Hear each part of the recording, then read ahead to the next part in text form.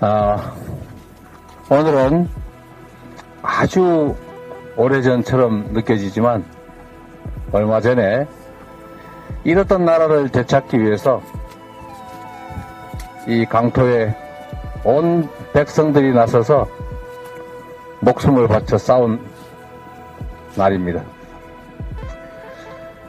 역사를 잊은 민족에게는 미래가 없다고 했습니다. 우리는 없던 나라를 만든 것이 아니라 잃었던 나라를 되찾은 것입니다. 오늘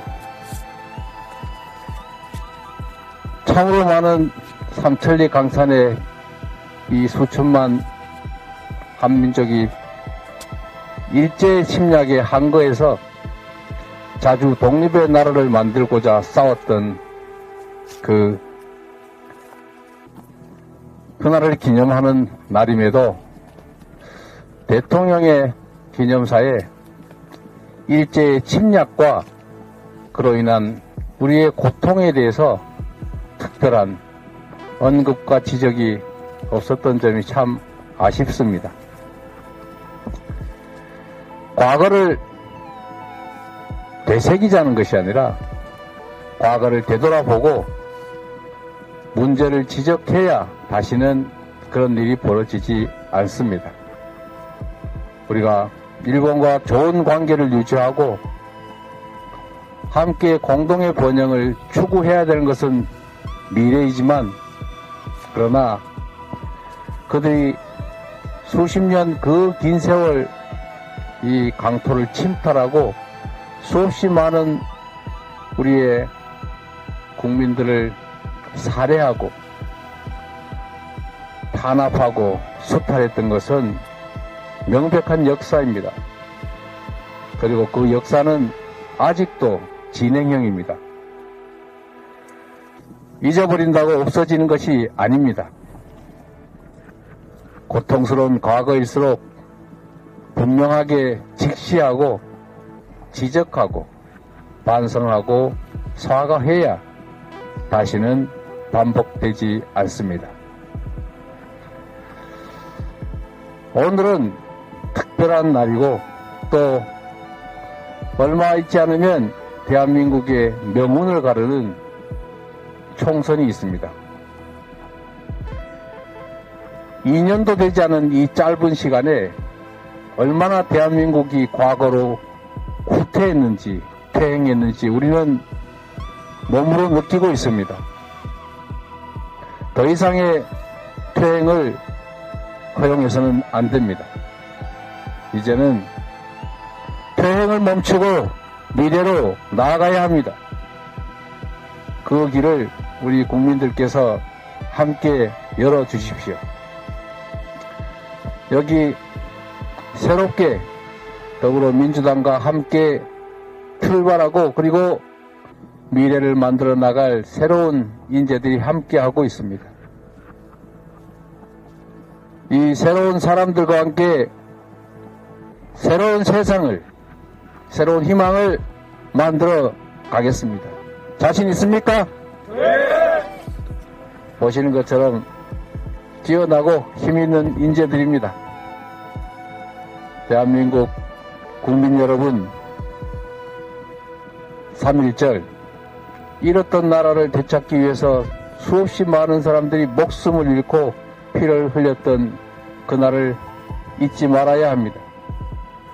역사 속으로 사라져버린 먼 과거의 일이 아니라 여전히 지금도 계속되고 있는 현실이기도 합니다.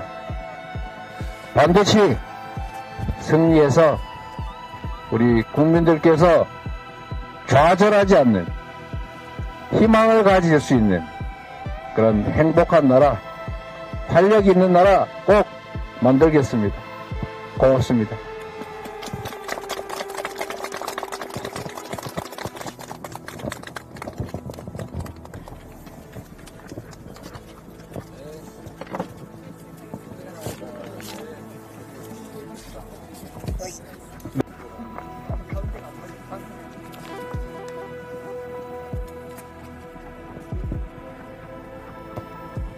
날씨가 추우니까 어, 먼저 어, 진행하도록 하겠습니다. 예. 네, 오늘은 3.1혁명 105주년이 되는 날입니다. 105년 전 오늘 일제는 맨손으로 저항하는 조선의 민초들에게 총칼을 휘둘러 7,600명의 목숨을 앗아갔습니다. 그 결과로 4월 11일 중국 상해에서 민주공화국 대한민국이 탄생했습니다. 27년간 풍찬 노숙하며 목숨으로 지켜낸 대한민국 임시정부는 광복 이후 미국과 소련의 간섭 아래 분단된 우리나라를 마주합니다.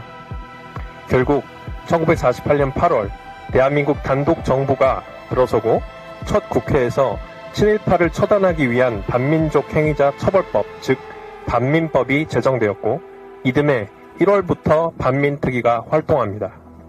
하지만 친일파들은 망고 역적의 죄를 반성하기는커녕 이승만 대통령 지시하 경찰력을 동원해 반민특위 특경대를 처참하게 무장해제시킵니다. 그리고 백범을 암살함으로써 독립운동 세력은 지하로 숨게 되고 반민특위는 와해됩니다. 여기 이곳이 그들에 의해 돌아가신 백범의 유골이 묻혀 있는 곳입니다. 백범이 서거한 지 75년이 지났지만 친일 반민족 세력은 조직적으로 교묘하고 악랄하게 흑화하여 지금도 백범을 암살하듯 자기들의 이익에 방해가 되는 것은 수단과 방법을 가리지 않고 백주 대낮에도 짓밟고 있습니다. 대한민국 헌법 1조 1항 대한민국은 민주공화국이다. 민주, 즉 국민이 주인인 나라, 공화, 공민과 공익을 우선하는 나라입니다. 하지만 지금 우리 정권의 권력 남용과 사유화로 민주도 공화도 찾아볼 수 없습니다. 이번 총선을 통해 1919년 3월 일제의 총칼 앞에 대한민국 독립 만세를 외쳤던 우리 할머니, 할아버지들처럼 이제 저희도 분연히 일어나겠습니다. 민주주의의 힘, 투표의 힘으로 그분들의 수건하셨던 친일 반민족 세력에 단죄하고 민주와 공화를 복원시키겠습니다. 그 과정에서 저와 이 자리에 함께한 영입 인재들은 324 묘단에 새겨진 유방 백세, 즉 꽃다운 향기가 영원히 기억되는 독립운동가의 마음으로 각자의 분야에서 어느 누구보다 앞장설 것을 독립선혁 묘전에 약속드립니다. 감사합니다.